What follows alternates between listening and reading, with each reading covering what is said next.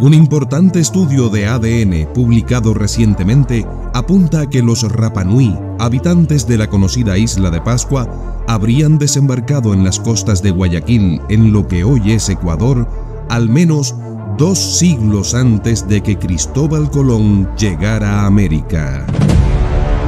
¿Son entonces los guayaquileños descendientes de los habitantes de tan remota isla del Océano Pacífico? ¿Qué plantean los resultados de tan importante descubrimiento?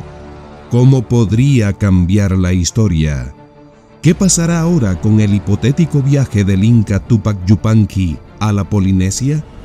¿Fueron entonces los Rapanui los que realmente viajaron al encuentro de los americanos? Lo que revela el reciente descubrimiento hace que se tambaleen varias teorías que hasta ahora se habían sostenido con relativa fortaleza. Acompáñame en este viaje a través de la historia y las ciencias a una nueva página sobre nuestros ancestros. No te pierdas ni un minuto de este video porque te sorprenderás. Pero antes de entrar de lleno en el tema, nos ayudas mucho regalándonos un like y suscribiéndote al canal. Nada te cuesta y para nosotros es muy importante para continuar produciendo contenido de alto valor como este video que has comenzado a ver.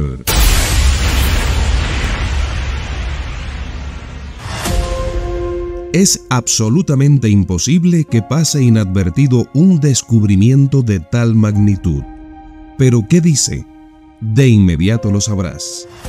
El ADN extraído de 15 osamentas humanas almacenadas en un museo de París acaba de aportar una sorpresa monumental los Rapanui, habitantes de la isla de Pascua, uno de los lugares más aislados de la Tierra, llegaron a América navegando al menos dos siglos antes que las carabelas capitaneadas por Cristóbal Colón.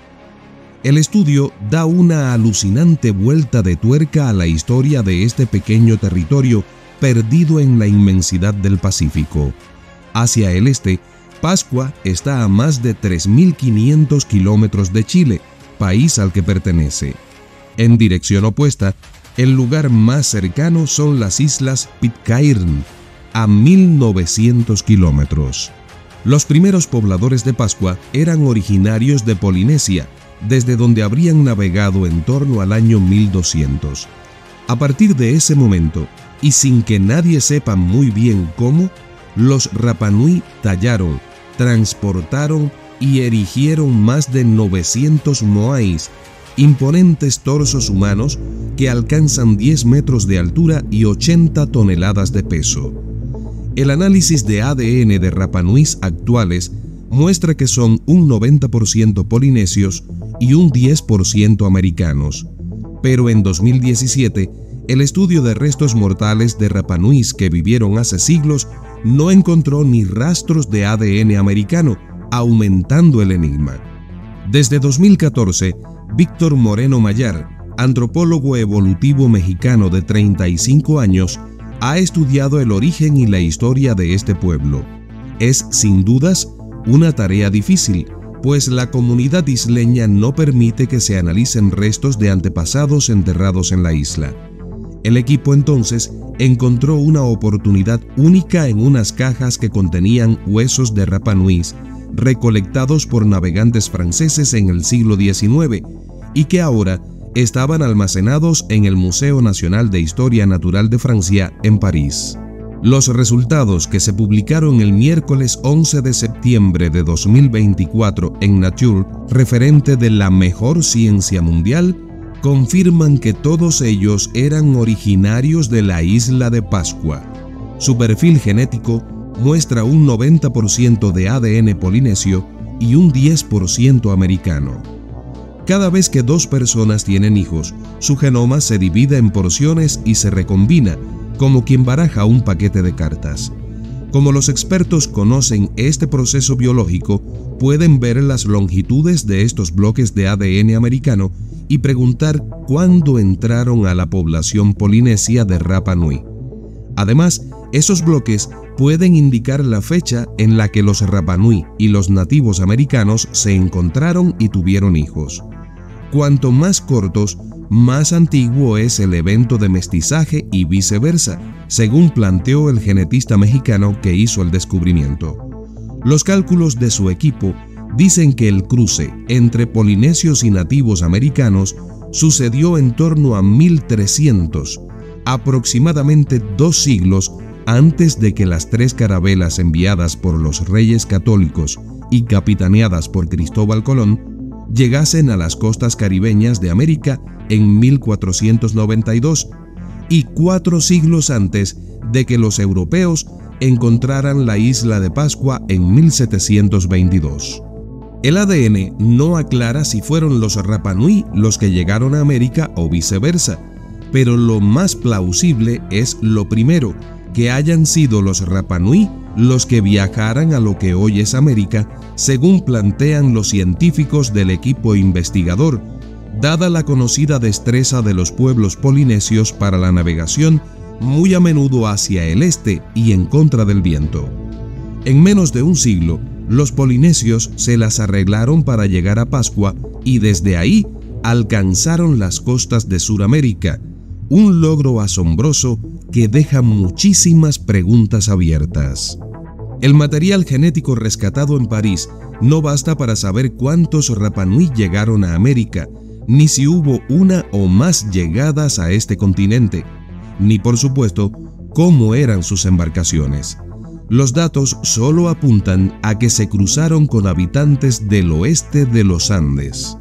Según los expertos, un experimento de navegación mostró que una embarcación parecida a la que pudieron usar los habitantes de Pascua navegando hacia América hubiera llegado a las costas de Guayaquil en Ecuador. Plantea el genetista que no tienen en este momento ADN de esta región ecuatoriana, ni actual ni mucho menos antiguo, porque esta molécula se degrada con el tiempo y las peores condiciones para su preservación son el calor y la humedad.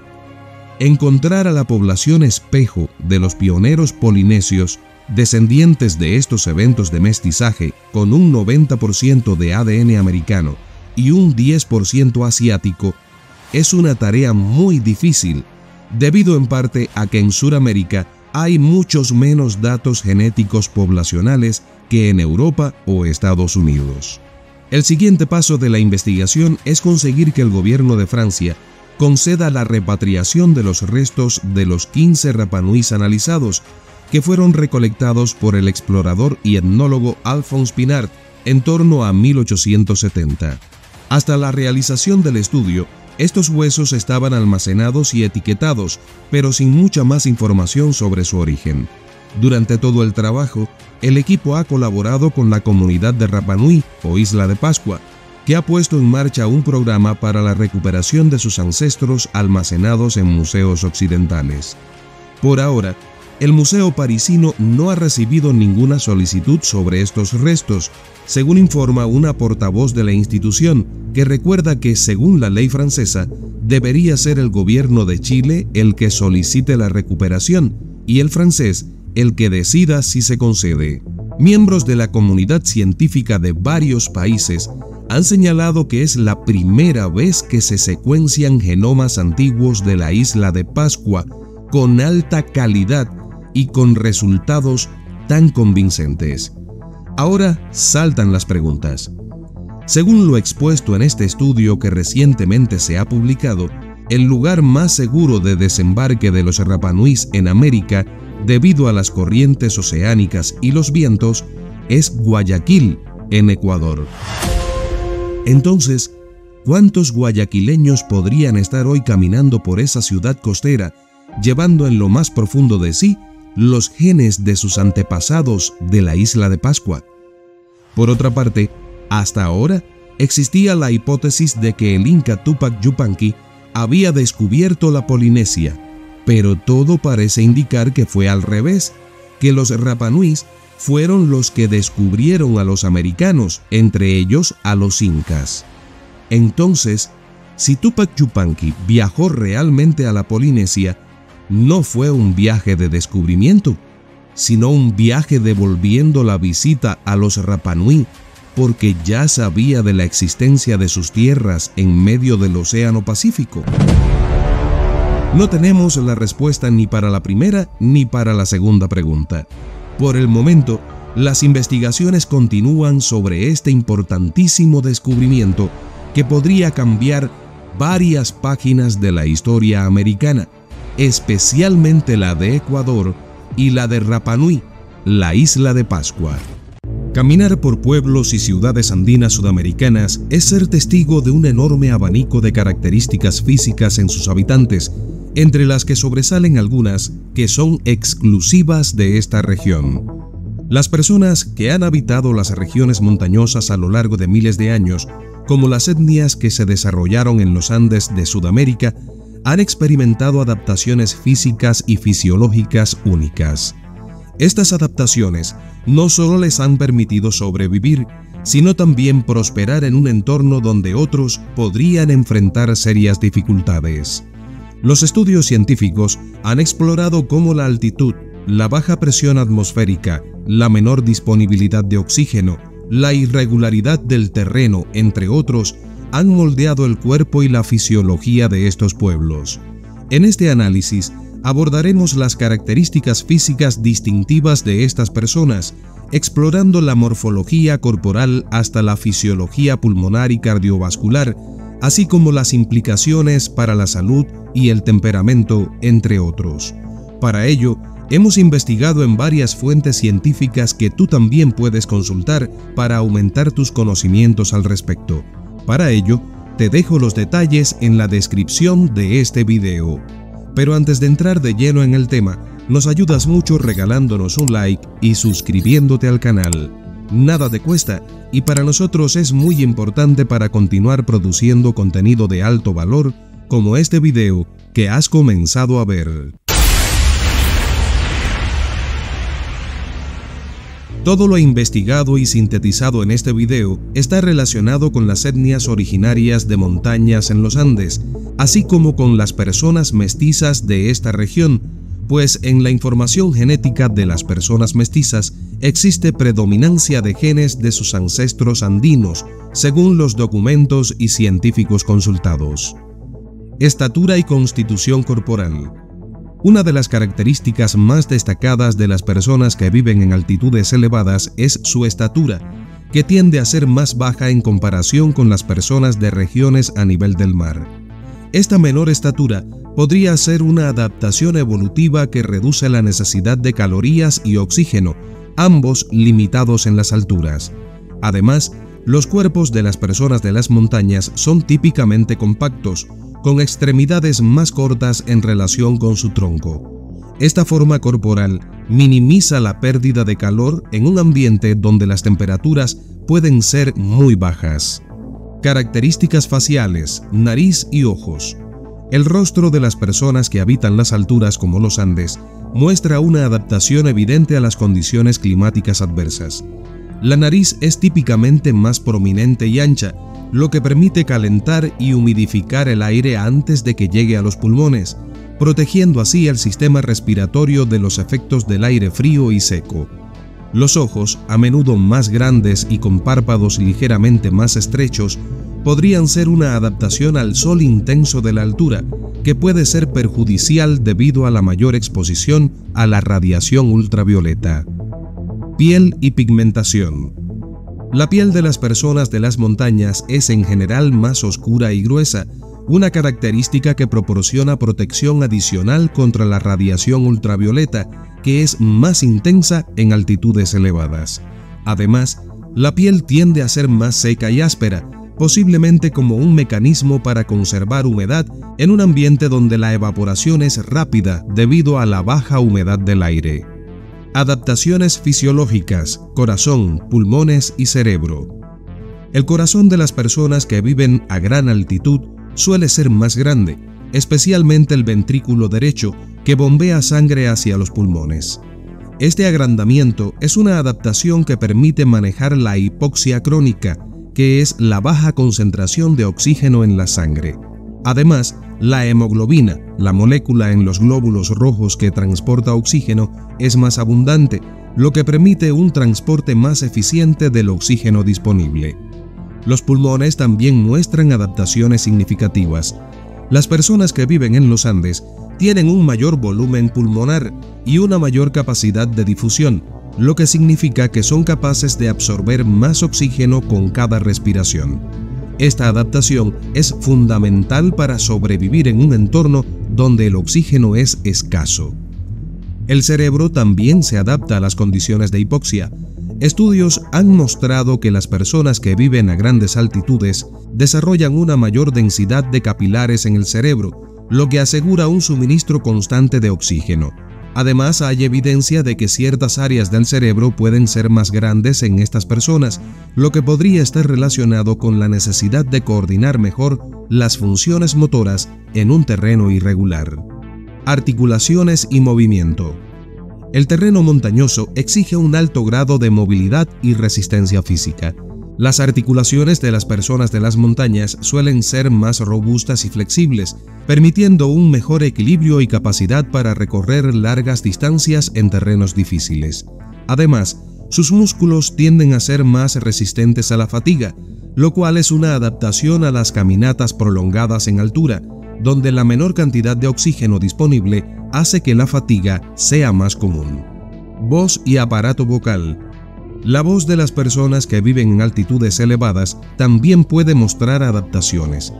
Debido al aire más delgado, el aparato vocal puede desarrollar una mayor capacidad para producir sonidos con menos esfuerzo respiratorio. Esto puede resultar en voces que son menos profundas y agudas, aunque esto varía según el individuo. Problemas de salud comunes. Vivir en altitudes elevadas no está exento de desafíos para la salud. Las personas de etnias de montaña son más propensas a ciertas enfermedades y condiciones debido a las exigencias de su entorno. Hipoxia crónica.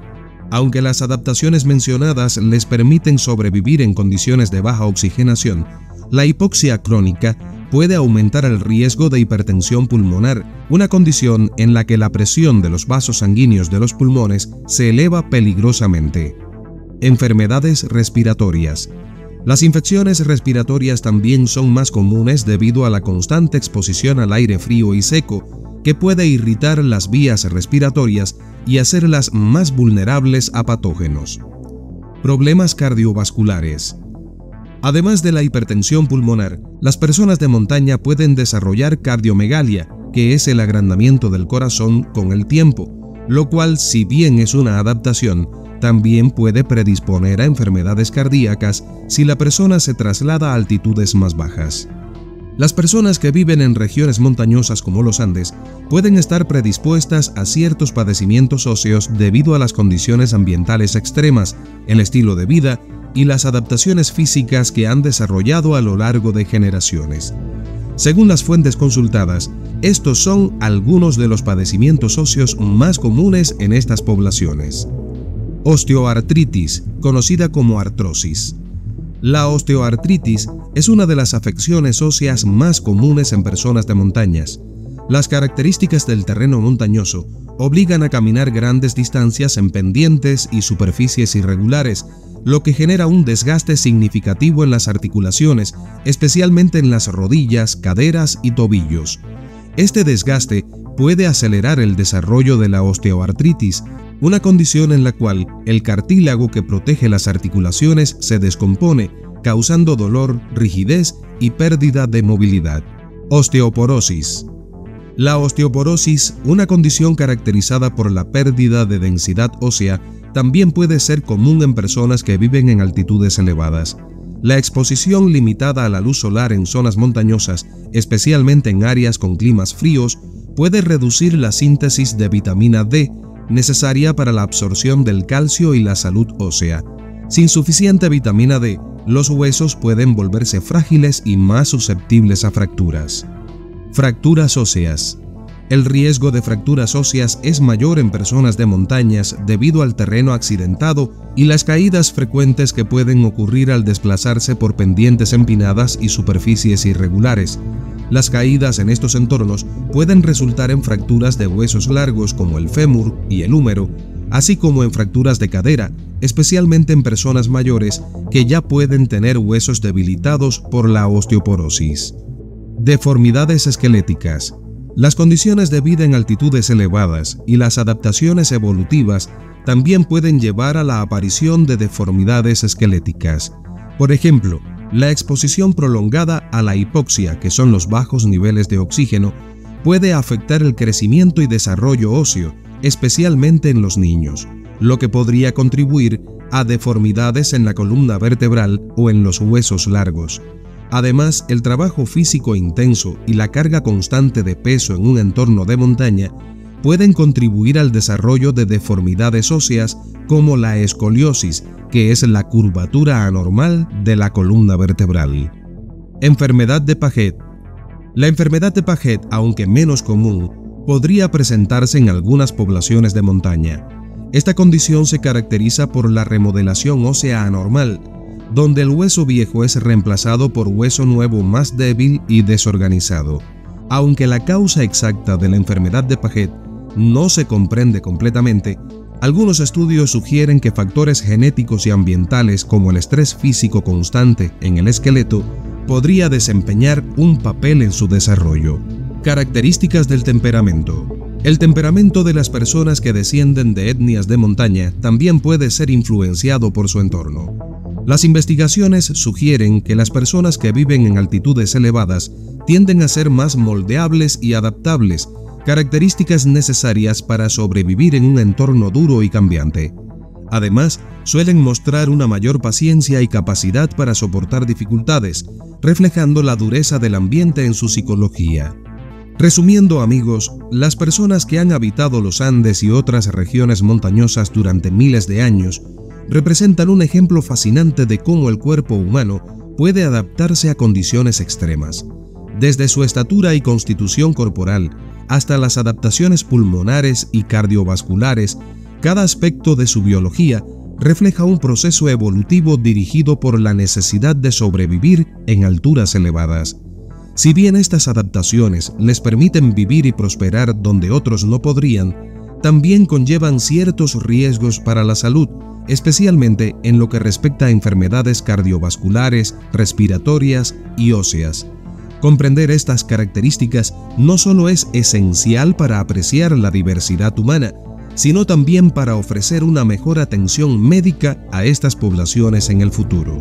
Recuerda que para que amplíes más tus conocimientos sobre estos temas, te dejo las fuentes consultadas en la descripción del video. Ahora es el momento para que comentes lo que opinas sobre las investigaciones realizadas y mostradas en este video. Además, regálanos un like, suscríbete al canal y comparte este video en tus redes sociales. Pronto, volvemos con más.